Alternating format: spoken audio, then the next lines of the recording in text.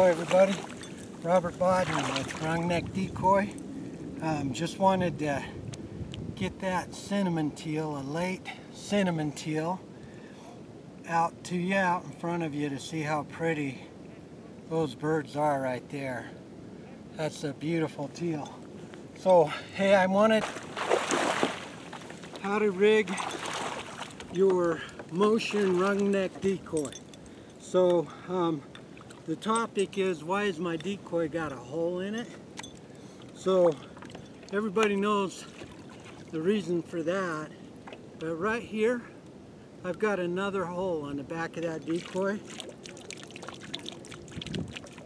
And that's all I'm doing is I'm trying to weight that decoy when I've got winds that are pretty severe and I think my decoy is going to ride where it needs a little bit more weight. Okay, so that's why you got a hole in the back of your wrung-neck decoy.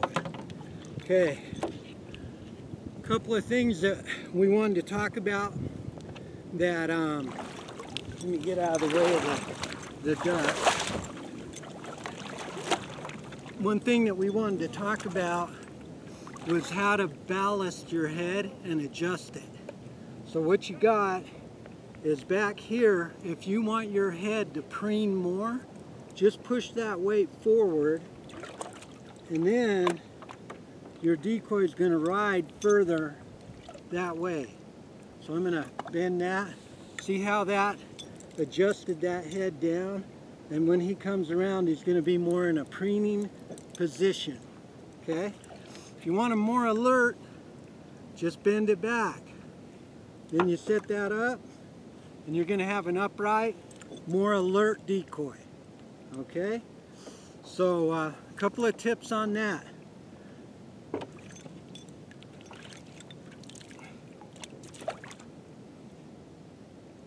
Okay, um, so that finishes up the uh, tip of why you got a hole in your wrung-neck decoy.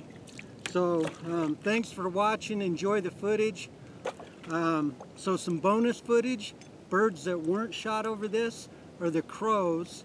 Um, wanted to kind of kind of invite you guys to get out and shoot the crows because the crows are taken out. Each individual crow will take out about 80 of your hatchlings and your baby ducks. So get out there and take care of the, uh, some of those crows and watch this footage. Thank you.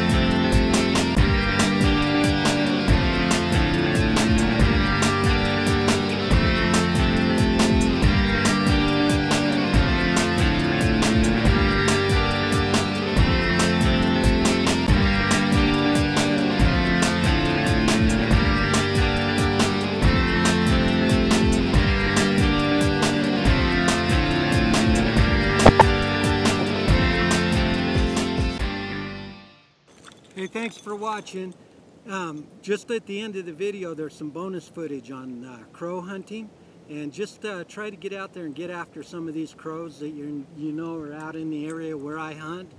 Um, I've read that an individual can take out over 80 uh, hatchlings and uh, eggs during a season, during a productive uh, season in the spring. So get out there and shoot some of them and uh, hope you enjoy watching some of the footage of the crows coming down. Thank you.